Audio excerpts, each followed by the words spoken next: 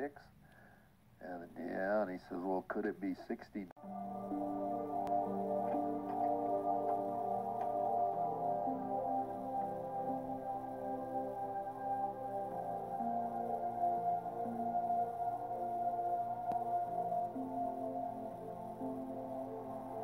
Any more than that because I'm still under contract.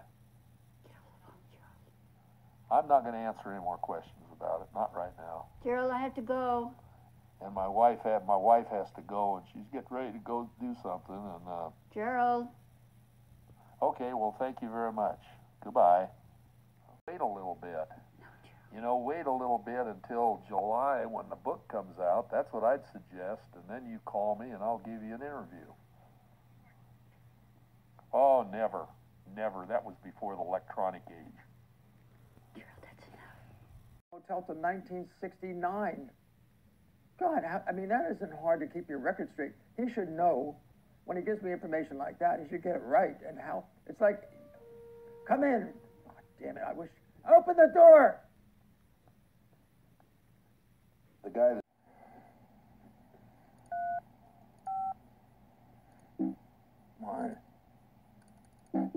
Jesus, how in the hell did...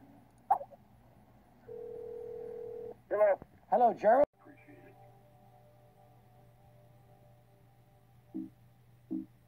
My God, this goddamn laptop is terrible.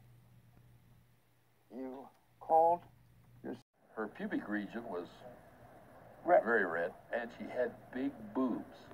Catherine's bedroom window. A mysterious force captivated my entire body. I think it was because I was entering puberty.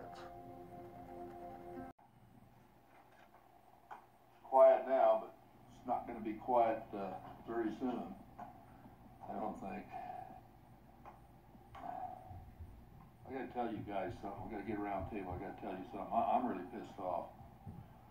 That lady over there, and I'll do anything to protect her. But when Gay Talese makes that last statement in there talking about my card collection, I never wanted that in there. I don't want people to know that I got a million dollar card collection here. What if a lawyer turns around and sues me? And they put a lock on the house and everything in it.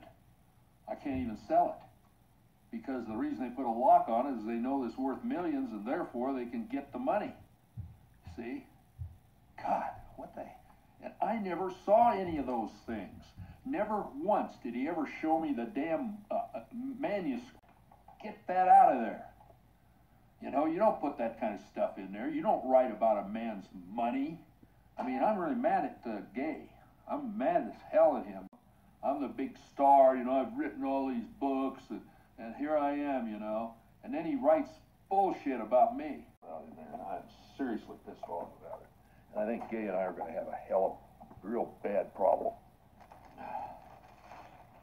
He's still pondering, hoping to come clean 30 years later and find redemption. That's true. I did what I wanted to do. I didn't do what you want me. I did what I want to do. I said, it's my, go ahead and blab to the public. your public. right, because I think we had a contract. We both have a right. You have a right to uh, criticize me, and they don't have a right to ask you the same question. You're going to sanitize it. Let's make what you said. I didn't hear it. They will use what you say against the book because they want to make it worse. They want to demonize me? They want to exploit you because you're a hot subject now. You're new. You just been on the internet. You've been on the New Yorker, goddamn New Yorker. You're a hot subject. I get it. An hour. Yeah, it's real private, you know.